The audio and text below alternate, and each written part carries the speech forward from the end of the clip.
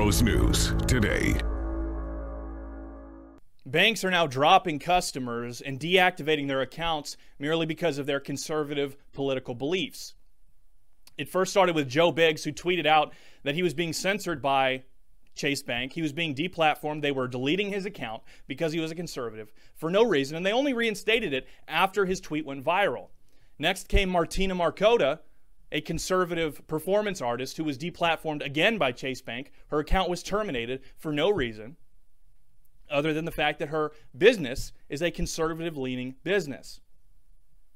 Market fundamentalists have told us if a platform wants to kick you off, that's well within their right. They're a private company, they have the right to do so. The First Amendment only protects your speech against government intervention. We've been told this for a while, even though we specifically saw this coming. This is not new to us. We've been talking about this a while because InfoWars, particularly, is always the test case for this sort of thing. You might remember that in the fall of last year that InfoWars was deplatformed off of Facebook, YouTube, Apple, Spotify multiple social media accounts. We were then kicked off of PayPal, among other payment processors. Again, the market fundamentalists, the free marketeers like Ben Shapiro said, private companies have a right to do this. The First Amendment doesn't protect you against those. Sorry, it only protects you against the government. If you want to if you want to buy and sell stuff, you better create your own processing platform. And we accurately predicted okay, but what about when banks begin to kick us out of their banking institutions? What will we do then? Will we create our own banks?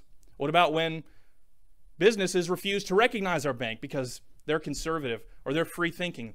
They care about human freedom, liberty. What about then? And now it's happening. We tried to warn you. We tried to warn the free marketeers that this would happen, but they knew that this would happen and they're okay with it because people like Ben Shapiro are not on our side. They're on the other side. They're okay with this stuff happening because they will know that they will never be on the bad end of it. They know the only people that will not be able to buy and sell, the only people unallowed to have public voices are the people who are in competition with Ben Shapiro over the truth. Ben Shapiro would have you thinking that the status quo of neocons versus neoliberals is the best way to go. We need to return to the status quo of Bush versus Obama, John McCain versus Obama, Hillary Clinton versus Mitt Romney rerun after rerun after rerun because they benefit from it because they are on that side. People like Ben Shapiro, Max Boot, Bill Kristol, they're on the side of the establishment and they are happy to see you get deplatformed, have your voice removed, have your bank account terminated just because you disagree, because you want to return American prosperity, you want to restore American sovereignty, because you disagree with them. I'm not here just to say I told you so. I'm here to remind you that InfoWars was the first to be deplatformed from these payment processors, and we accurately predicted that this would happen with banks as well. Luckily, it's getting coverage on Drudge and other websites. Now, of course, other individuals were hit with this sort of stuff the same way that we were, but it did not happen to any other business in the way that it happened to us.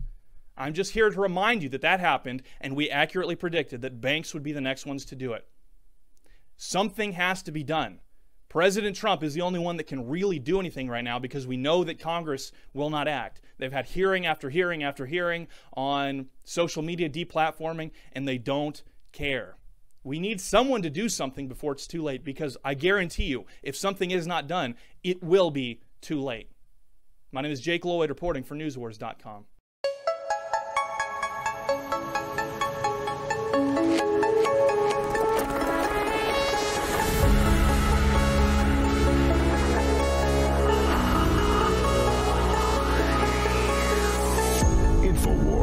tomorrow's news today.